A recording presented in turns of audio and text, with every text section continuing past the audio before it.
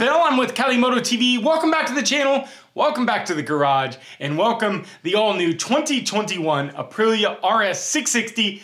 It's back up on the lift for yet another modification. And today, today we are working on the drivetrain of the motorcycle. That's right. We have a Superlite uh, sprocket and chain kit here from uh, Drive Systems down in LA. Uh, got to give them huge props and thank you for getting me this so quick. Um, so what we're going to be doing today is changing the front sprocket and the rear sprocket along with the chain. Now, the RS660 already comes with a 520 chain so and sprocket. So we don't I'm not going to change that. We're going to keep with the 520.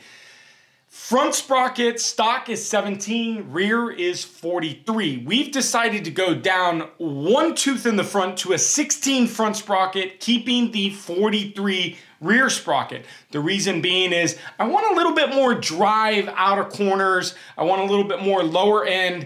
Uh, I feel like we've got a little bit of need at the bottom end. Uh, now, with sacrifice, lower end comes the top end.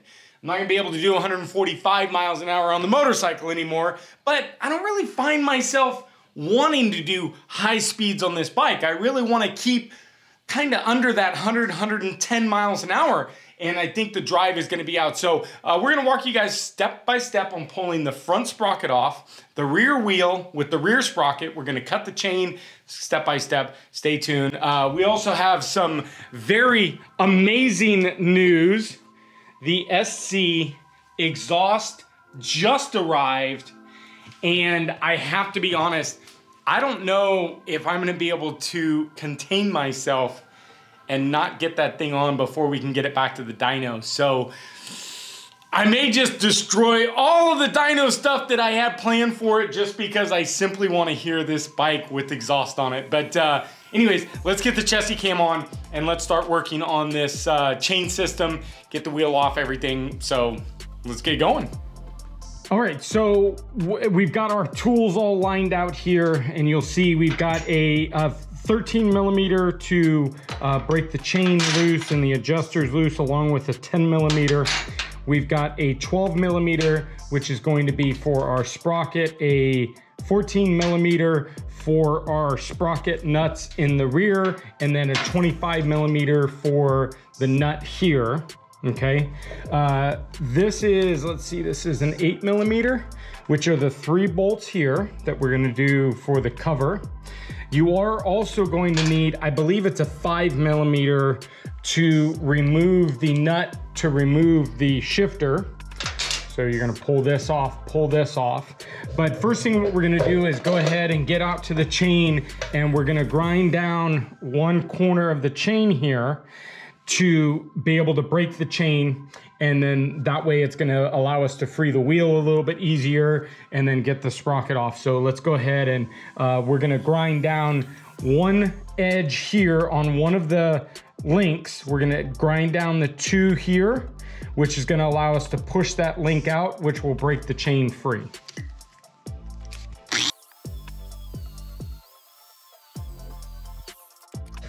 All right, so if you guys have seen my handy dandy tool video, this is where this one comes in handy.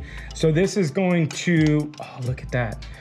All right, so we're gonna have to come down here. So what this does is this clamps onto the chain and then it actually is going to push the pin out.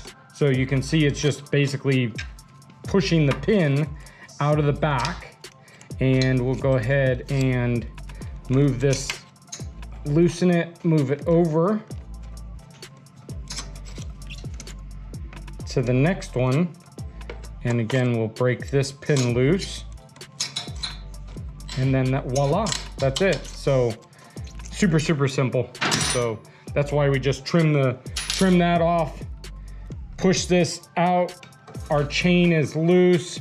Voila, bada bing, bada boom.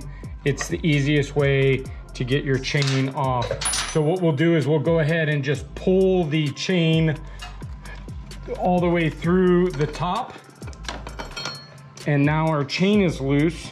So super easy now because we can just toss that down there. So now our, our wheel is free from the sprock or from the chain. So now it allows us to break this wheel loose and pull this wheel off, okay? First, let's go ahead and tackle the front sprocket and get the front sprocket cover off and everything and uh, get this replaced. Then we'll tackle the back end. All right, so the first thing we need to do is actually take the shifter off. So what I'm gonna do is I'm just gonna give you guys a little bit of a mark right here, okay? Which is just gonna symbolize basically where the uh, shifter is, is placed. We're gonna go ahead and loosen and remove this screw completely. And then go ahead and gently wiggle out the shifter and we'll pull this out and then we're just gonna set this kind of aside. So wherever we can, it'll end up resting there. And then we're gonna take our eight millimeter and we're gonna pull out these three bolts. One, two, and three,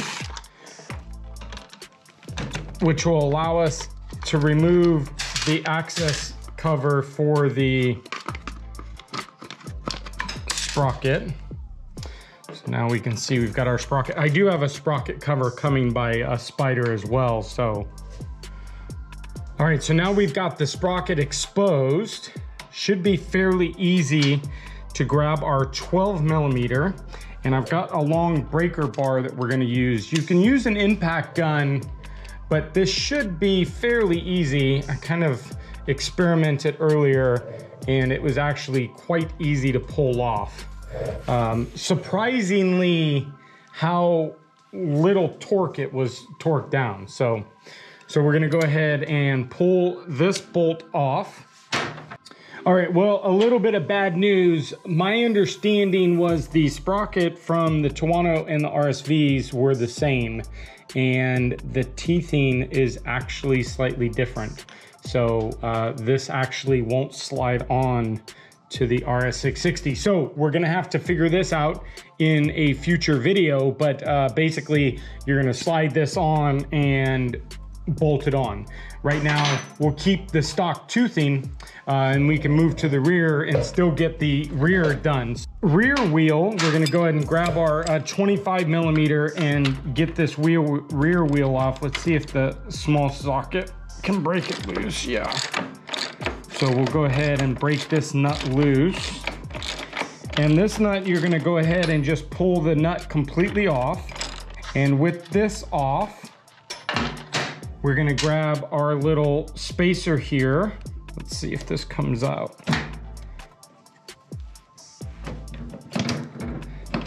Pulling that back a little bit.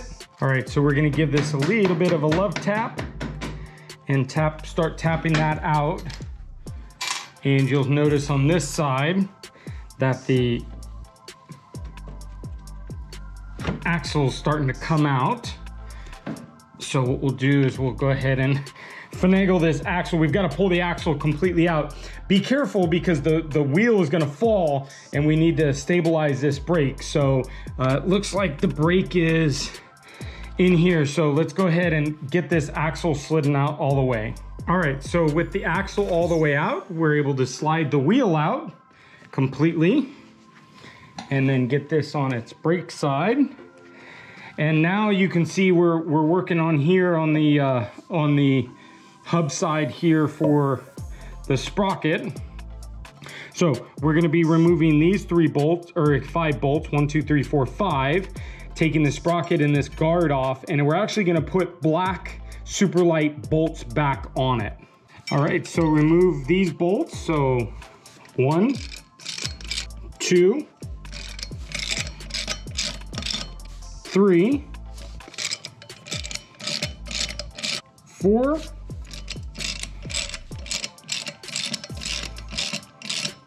and number five. All right, with those five bolts, your sprocket and guard and five washers will come off. So what we're gonna do is we'll just go ahead and set this over here on the bench because we won't be using this anymore. And then let's go ahead and dig out our sprocket and hopefully, hopefully this is going to work. All right, so sprocket confirmed works, perfect. So um, we're not gonna put the guard back on. I'm not sure exactly, I think that chain guard is, I don't know, some safety feature, but we're gonna ditch it. And then I did go ahead and order from Superlite their black bolts, which are really nice. So it should complete the look. All right, so it looks like the torque spec is gonna be close to what the Tuono and the RSV is, 50 Newton meters, both for here and the front sprocket. So we're gonna go ahead and get this up on its side so we can get a little bit better access to the torquing and go ahead and get down to 50 Newton meters.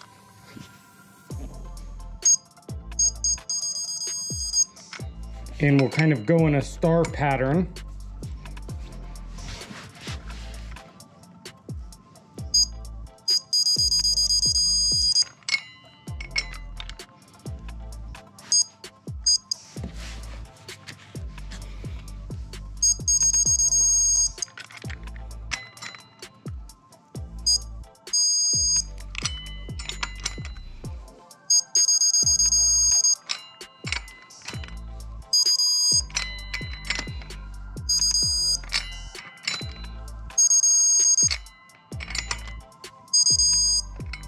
Okay, there we go.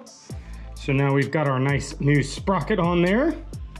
And then let's go ahead and just confirm while we've got the torque wrench on here that we torque the front sprocket down to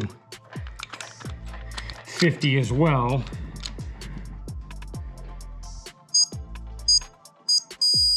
Yep. All right, so I have to say there's usually no easy way of putting this back on. We wanna make sure that the rear brake doesn't bump into the rim. It looks like we've got a good stopper in there, so that's good. But we've got to finagle this in. Our little guard's in the way. And get it in there. And then once we've get it in, now we've got to work it up and lift it so that we can put the axle back in. So we're gonna have to, with one hand, lift it, get the brake in place.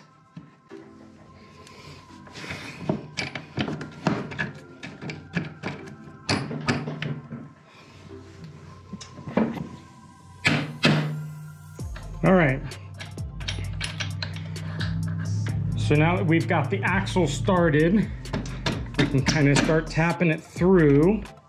So once we start to tap it through, we're just gonna get this lined up so when we tap it all the way through, if you guys can see the nut coming through, there we go. So we should be able to essentially put this kind of back into spot. Grab our washer,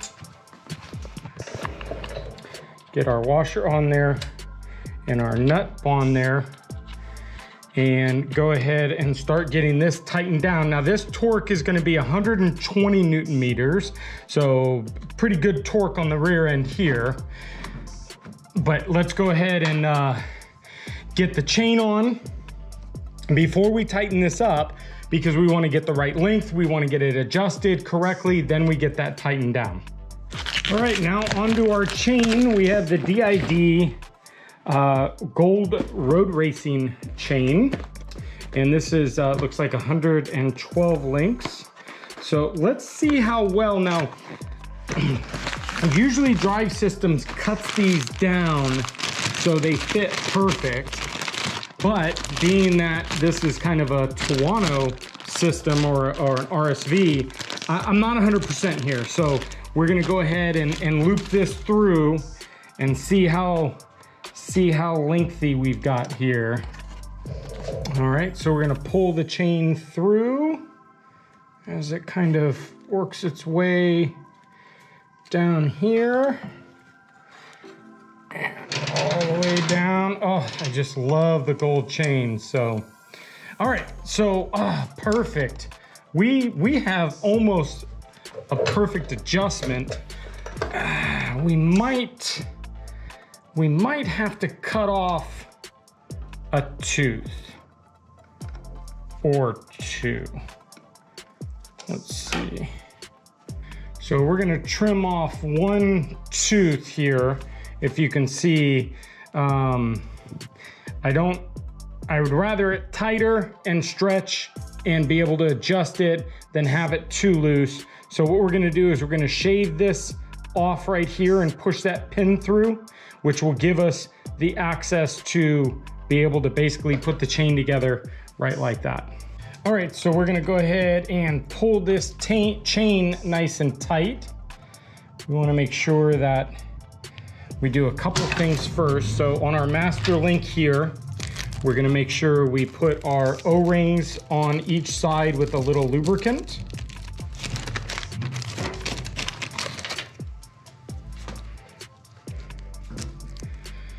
So we'll get a little lube on here and here and go ahead and slide on one of our O-rings on each side. Get that lube on there and pull the O-rings off the old chain.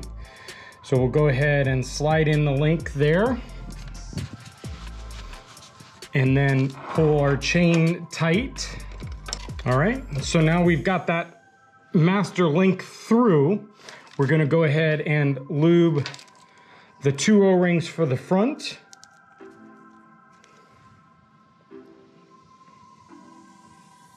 Okay. And then now we can go ahead and get the master link slid on. And we're gonna start that on there. So you'll see it'll, it'll start, but then of course we're gonna use our chain tool kit to push that all the way through on there and then mushroom up the rivets. Now, I'll be honest, I'm not the best at this. This is gonna take me some time, so I'm no master. So I would definitely go on YouTube and uh, just check out how to set your rivets because uh, it takes me a little bit of time, so. 8.01 p.m. All right, so some of you guys say you don't need it, but I'm gonna make my job a lot easier and use the new BPA chain racing adjustment tool so you can see that we're just a little too tight on here. So we'll go ahead and loosen the set screws. And I'm gonna move the chain in just a little bit. All right, so now we should have a decently adjusted chain. I like it. And uh, now we can go ahead and torque this rear down. We're looking at 120 Newton meters for the rear axle nut. So we'll go ahead and get my nifty little thing here. So we're gonna go over here and we're gonna set it to 120 Newton meters.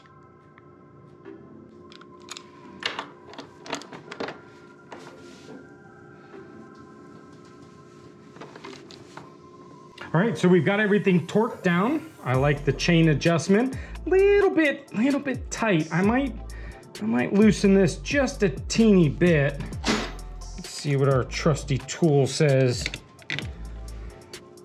Yeah, it's on the tight side. So I'm gonna go ahead and play around with the adjustment on the chain.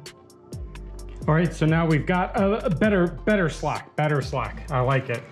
And uh, let's go ahead and get the front buttoned up. So get this removed.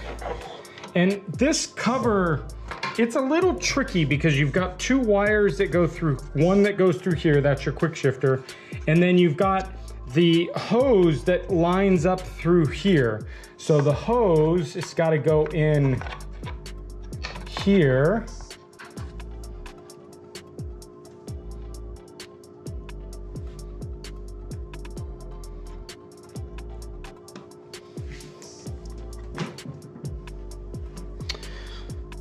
All right, so we're just about buttoned up. We got all the bolts in. You can see I've lined this up here and we can get our little nut threaded through and tightened up. And let's take uh, a final torque spec on everything and then do a final look at and uh, get you guys a little outro. All right, well there we have it. The new Superlite 43 tooth sprocket in the rear with the DID racing chain. Oh, the I just absolutely love the black and gold sprocket. We have them on all the bikes. The, the Streetfighter, love it. And the Tuono, love it. And now the RS660, love it again, absolutely. So here's the deal. Um, so the rear sprocket, you know, sometimes I order stuff in hopes that it's gonna fit and sometimes it, it doesn't always happen that way. Um, you know, when we get a bike as new as the, the RS, we experienced the same thing with the Streetfighter. Really, we were trying to get parts that would fit from the Streetfighter to the, to the V4S, um, the Panigale.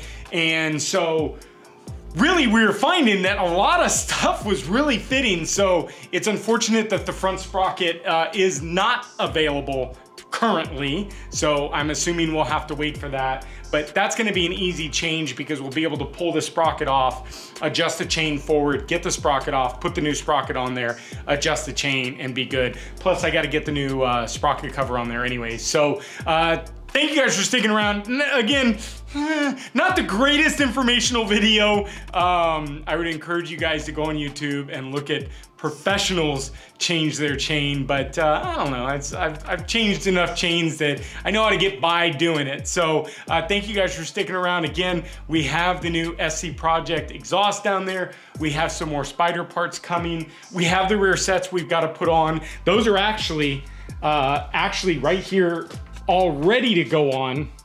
The problem is, is the mounting, we've got to pull the frame bolt out to change the rear sets. So because that holds the swing arm, we have to, like the MT-09, we have to suspend the rear end in order to get that to work. So uh, a bigger job, bigger job. I'm gonna probably do that on a live video with you guys. Um, maybe next weekend we'll get the rear sets on. But I'm trying to really determine if I'm gonna put the exhaust on. I'm still waiting for the velocity stacks. Apparently they've been lost in the mail. They were supposed to be here a week ago. Um, they're showing still in Denver. Um, so thank you guys for sticking around. Hanging with me in the garage while we do this kind of the chain and sprocket chain uh, uh, swap. So thank you guys again. Do the normal, hit the subscribe button, smash the like button, and ring the bell notification. Um, I'm trying to do as much as I can on this thing for you guys to show you guys what the potential of this RS660 is. So uh, again, thanks for sticking around with me and uh, we'll see you next video. Bye guys.